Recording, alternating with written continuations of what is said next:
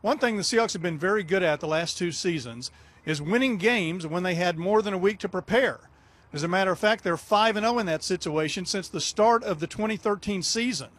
Last year they did it four times, including the Super Bowl, of course, and the playoff game against New Orleans. And if you count the two season openers, they're actually 7 0 in that situation. It's only happened once so far this year. They beat Washington after their bye week early in the year. However, now they go to Philadelphia after a 10 day break after winning on Thanksgiving Day in San Francisco.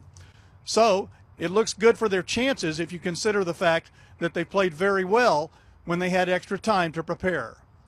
For the NFL Nation at ESPN.com, I'm Terry Blount.